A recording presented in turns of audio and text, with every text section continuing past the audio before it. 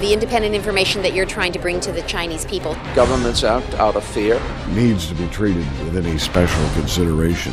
我们努力嘛，我们过去都帮你们好已经弄好，要格外的去珍惜，不在中国的市场跟官方蛮横的压力下低头的媒体，尤其是我们政府也应该关心一下。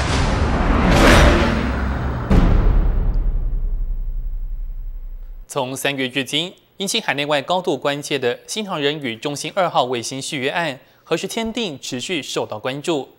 人权律师邱广全表示，面向华人社会，新唐人扮演为中国民主化积极发声的重要管道，中华电信应当体认到保有这种价值的重要性，尽速完成中心二号卫星续约。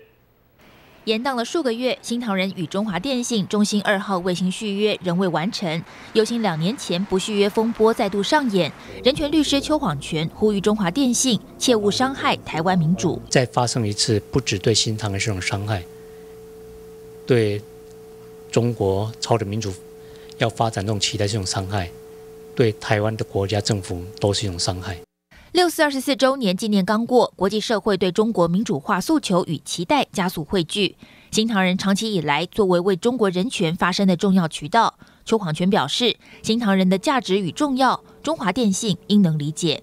中国我们预期的民主化、自由化、照顾人权的过程中，这必然要有的一个发声管道。那这种发声管道，不是在为谁发声？而是在为国际的自由、民主、正义在发声。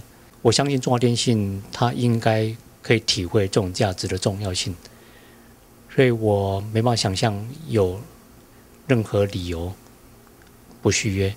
从三月至今，新唐人亚太台已多次向中华电信提出续约要求，虽然中华电信并未予以回绝，但也迟迟不见续约动作。